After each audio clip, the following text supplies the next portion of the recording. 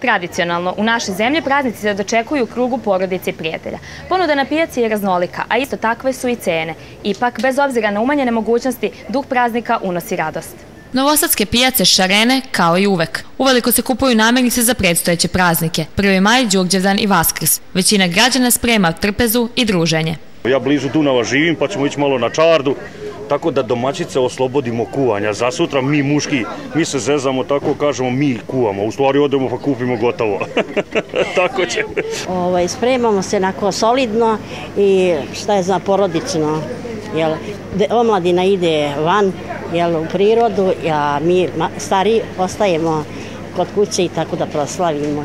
Tako. A kakve su cene, kako to Pa šta ja znam, znate šta, pa ima ih na koji ovaj, niži, niži, a ima ih i neki samo kvalitet i da su sveže i tako da, da sve u svemu, mislim, dobro je. Neće udariti, dolazi prijatelj i on će ponijeti sve što treba, a ja samo vatru pripremim. Malo ćemo spremiti onako, a teško je, nema se, ali šta Hoće li se razlikovati u odnosu na neke prošle godine? Pa hoće. Opalo je, ali opet ćemo struditi maksimalno što budemo morali. Prodavci zadovoljno trljaju ruke.